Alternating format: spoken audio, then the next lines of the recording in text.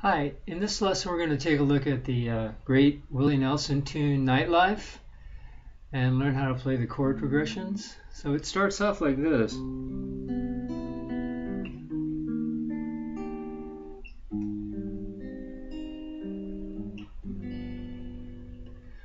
Um, a lot of jazz influence in this tune, that chord progression that starts off the tune and is used throughout um, influenced by Tadd Dameron style chord progression. But what we're doing, we're in the key of C, C major 7, this shape, up to an E flat major 7. We just move that shape up. A flat major 7. And then that's a G7 chord. Now these voicings are might be considered jazz chord voicings, the major 7 dominant 7s. Um, lots of resources on YouTube and on the web on how to get these chords down, but these shapes are really useful for this tune. I've got a YouTube lesson that shows how to play the six basic jazz chords using fifth and sixth string roots. But anyway, that's that, that first little part.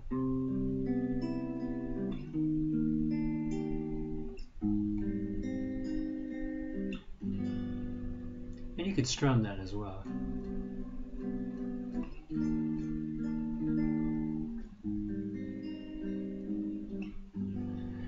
Like I said, the chord progression is C major 7, E flat major 7, then we go to an A flat major 7, and we end up on uh, G7, which takes us to the beginning of the, the main progression. It's a C major 7 again,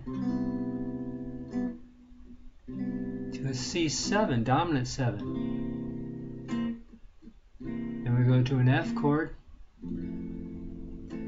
F major 7, then a diminished chord, then we do like a turnaround, C major 7, A7, D minor 7, G7, then we do our little, that beginning chord progression again.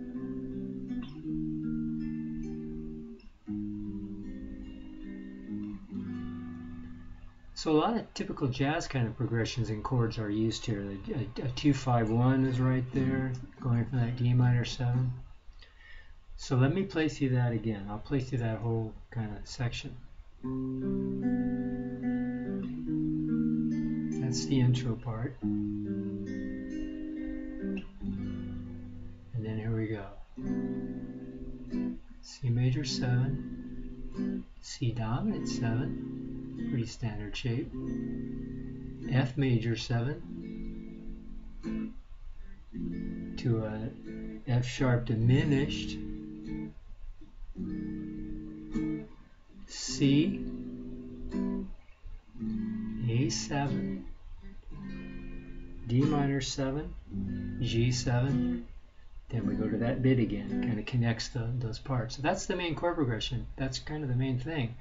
Um, when we go from that C major 7 to A7 to the D minor 7 to G7, um, that could be like a 1, 6, 2, 5 progression, if you're familiar with that, uh, that way of uh, explaining chord progressions.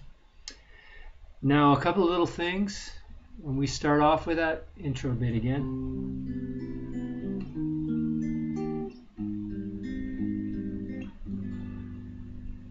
we go to that C major 7,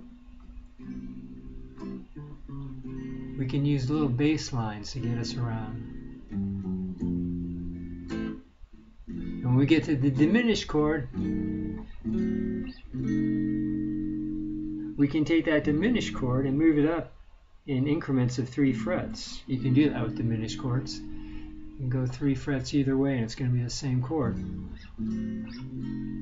That takes us back to our C major 7, A7, D minor 7, G7,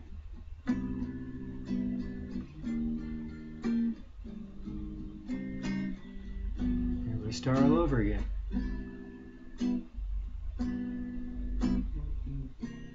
C7,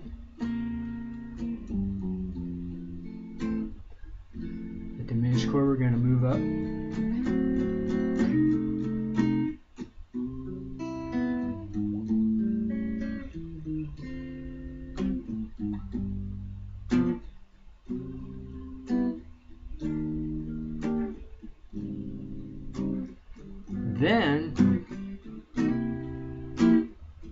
he just plays kind of a straightforward blues thing here. It's a C7 chord.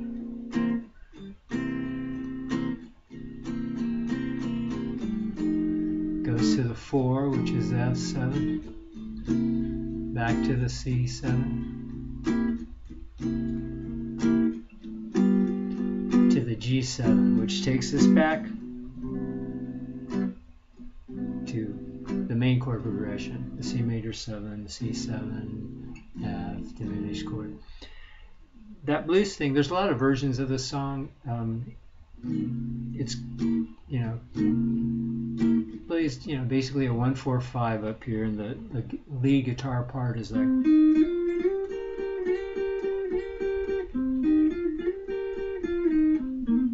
Something like that. You can do that blues thing and kind of change it around. You can play more of a regular bluesy thing.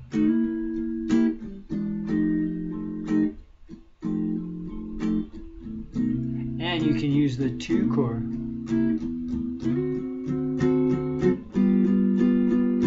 Which I notice he does in some live versions of this song. So you go from the C7 to a D7 to the G7.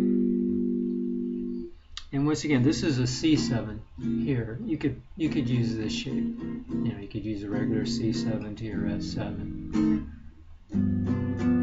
And 5 would be this G, G7 right here. But that's basically the whole tune. You know, it goes from that, that and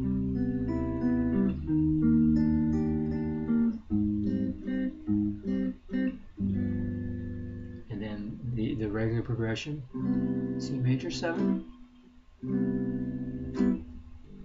C dominant 7, to the F, 4 chord, F sharp diminished, moving up in 3 fret increments, or you could just stay there. Then we do like a turnaround, a blues type turnaround. A7, D minor 7, 2, 5, 1 right there, and there's the 1. And there's the, go into that again.